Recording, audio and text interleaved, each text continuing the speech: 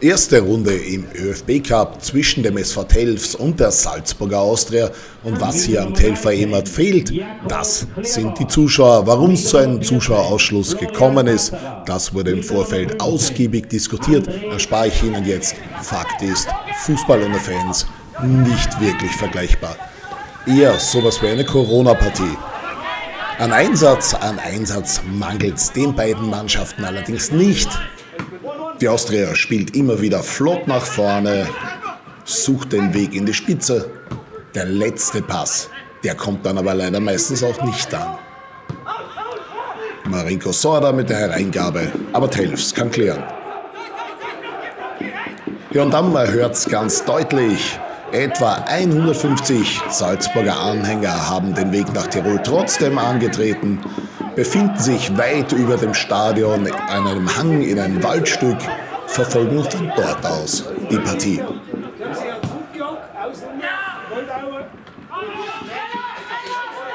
Ja, Verwunderung bei den Funktionären in Telfs.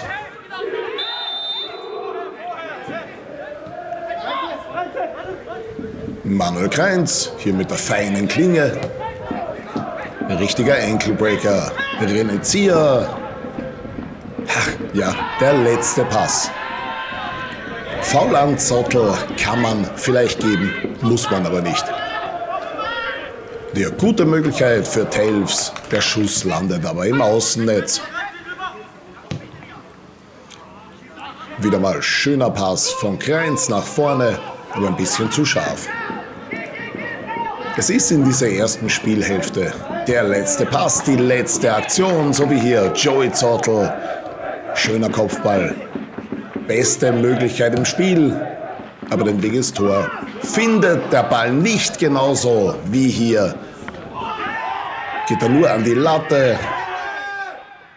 Der Austria kann dann schlussendlich die Aktion bereinigen. Wir schauen uns das nochmal an. Fonja hackt da am Ball vorbei. Ja, und so schaut's aus bei den Anhängern oben im Wald. Rund 150 Waldmenschen machen gewaltig Stimmung. Und recht viel schlechter als im dritten Rang des Happelstadions ist die Sicht auch nicht. Florian versucht es ja selbst, aber wir kennen es, letzter Pass kommt nicht an. So, jetzt hat auch die Austria Aluminium getroffen. Hödel war's.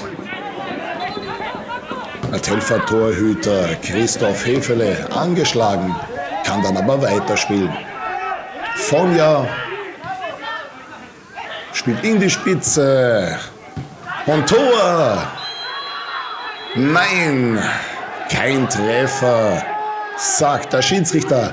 Abseitsstellung von Zottel. Wir können es leider aufgrund unserer Bilder oder besser mit unseren Bildern nicht ganz auflösen.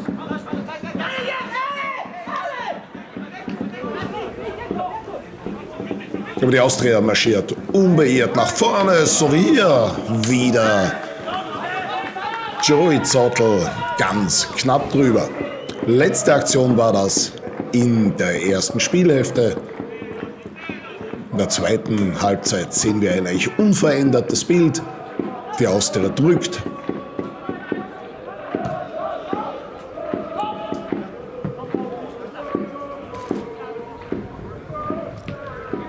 Kreinz, hoher Ball nach vorne.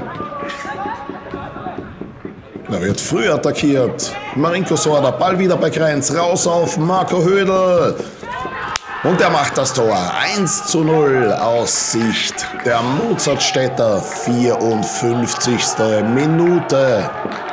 Es dauert ein bisschen, bis das Publikum am Haken auch merkt, dass ein Treffer gefallen ist. Aber dann ist der Jubel umso größer. 1 zu 0. Toller Start in die zweite Spielhälfte.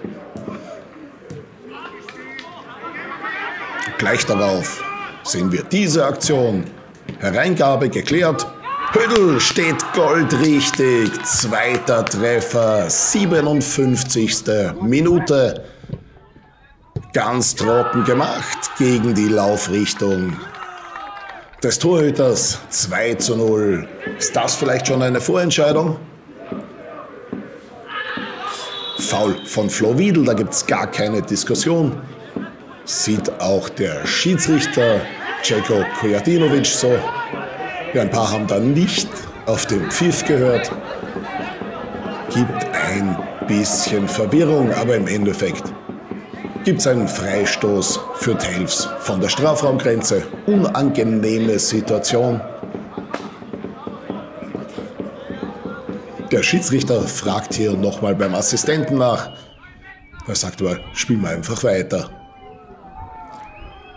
Da kommt der Ball herein, gefährlich. Gute Klärung von Kallmann. Und die Austria kann sich dann befreien. Aber Telfs, die haben sich absolut noch nicht aufgegeben. Schöner Save von Kallmann. Und wieder kommt der Ball herein. Aber dann mit viel Routine. Marco Hödel, aber irgendwie drücken die Telfer die Austria jetzt hinten hinein.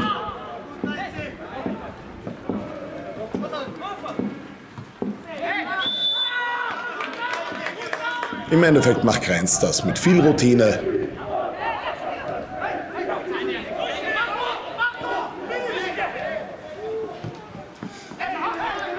Pass in die Spitze, abseits, sagen die Schiedsrichter.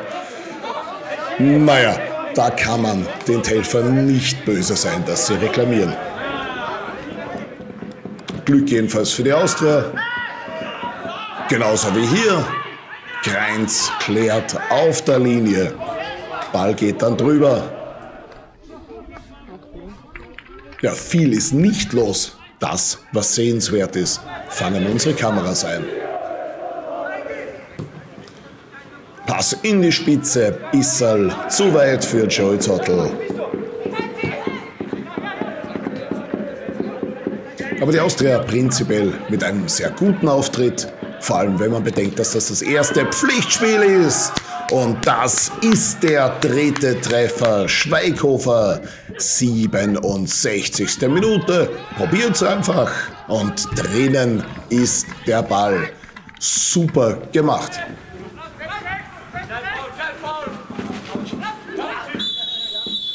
Materialprüfung bei Marinko Sorda. Das Austria-Trikot, das hält das aus. Und der Spieler muss sich die Kritik in Form einer gelben Karte gefallen lassen. 3 zu 0, das sollten nicht mehr viel anbrennen. 3 zu 0, ach was, 4 zu 0. Marco Hödel macht's in der 71. Minute. Das sollte jetzt wirklich alles klar sein. Und hier, das ist auch der Moment, wo ich dann wahrscheinlich meine Stimme ein wenig beleidigt habe. Man hört's.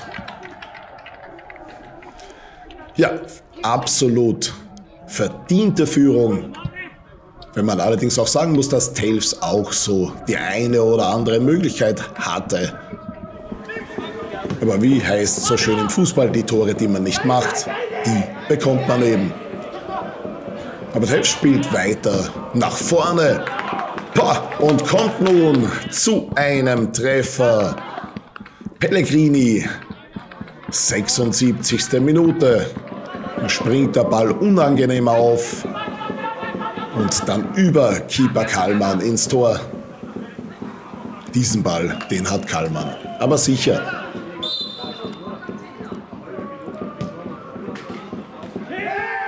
Nächste Möglichkeit für Telfs, die haben sich noch nicht aufgegeben spricht eigentlich sehr dafür, dass bei dieser Mannschaft alles funktioniert. Spielen auch bei 4 zu 0 für die Austria weiter nach vorne.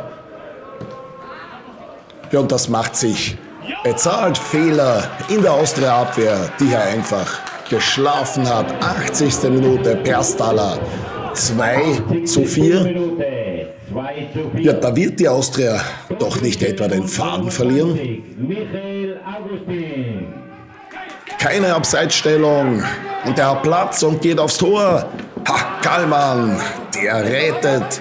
Das hätte bitter werden können, jetzt noch kurz vor Ende. Wenn die Austria hier den dritten Treffer hinnehmen hätte müssen, nicht passiert. Alles gut. Wir sind schon in der Nachspielzeit, da gibt es noch eine kuriose Situation. Erzieher liegt verletzt am Feld. Braucht eine Gezeit, bis Telfs den Ball rausspielt.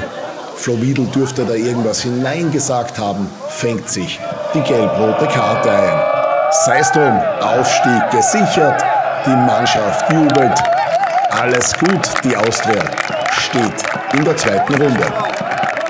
Ich glaube, man hat das, soweit wir mitgekriegt haben, auch vom Platz her gehört, dass Leute von uns da waren.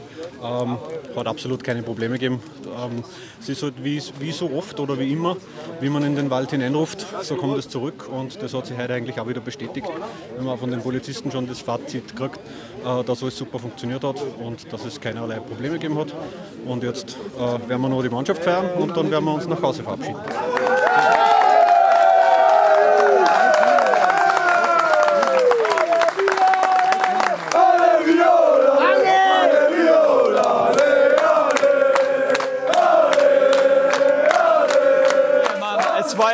War ja eigentlich offiziell ein Geisterspiel, aber wenn man da im Hintergrund sieht, wie viele Fans trotzdem mitgefahren sind und da oben im Wald gestanden sind und uns unterstützt haben, das ist einmalig, das gibt es nur bei der Austria. Und dafür, glaube ich, sprich für die ganze Mannschaft, sind wir unendlich dankbar.